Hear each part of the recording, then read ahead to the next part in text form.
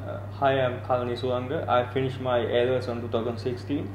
After I finished my A-levels, I joined with uh, Asian Aviation Center to do my higher studies. I started my Diploma of Aircraft Maintenance Engineering course on uh, April 2018 and uh, I have done uh, six months with Asian Aviation Center. Uh, after that, I moved to Brisbane to do the to continue the course. After I moved to Brisbane, I had studied there for one and a half years.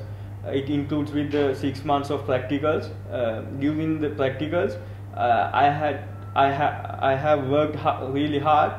I have finished uh, up to ten modules in Sri Lanka, and uh, it was uh, very helpful me to continue the course without no pressure.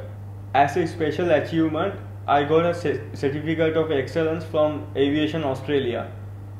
I have graduated on 28th of January and now I'm looking forward to go to Vietnam to do my OJT and uh, I would like to thank all my instructors includes uh, Charlie and Dennis and all the AAC instructors in Sri Lanka.